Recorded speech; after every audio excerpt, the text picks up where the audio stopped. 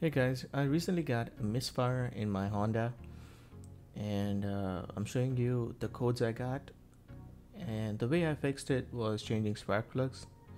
Uh, since then I do not have uh, like I've been driving this car for like at least at least 10 days right now and uh, by the time I made this video and I do not have this issue anymore so uh, you can do you can fix this by changing the spark plugs and I'll show you how to do that in this video. Alright, so to open the spark plug, you have to open these four nuts before that and then remove the cover and then we remove the coils and then we change the spark plugs. So, and make sure you inspect your coils, that's very important too.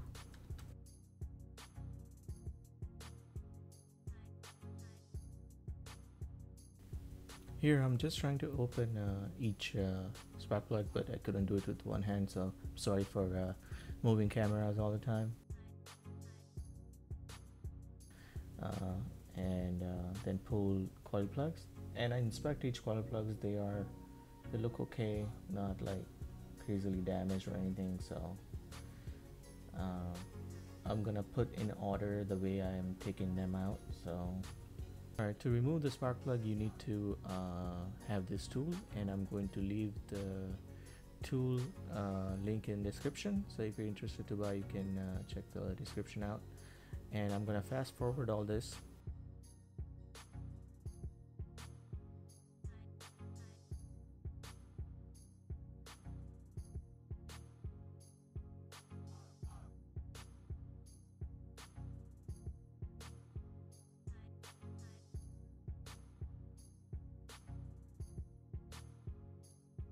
Alright, before you install the spark plug, you should check the gap and uh, whatever the gap is listed on the package it should be within the range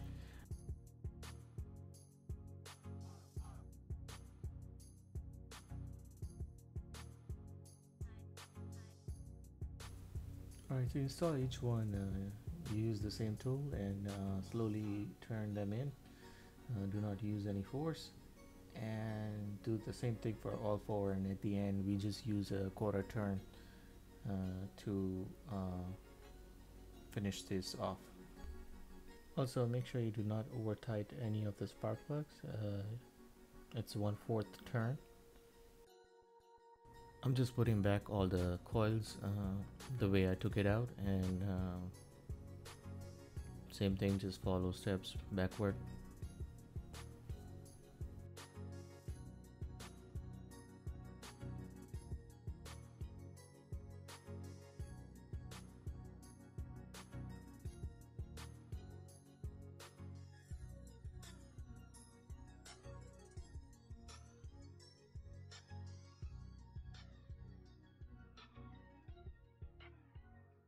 now only thing uh, we need to do is re uh, reset the codes and that's it.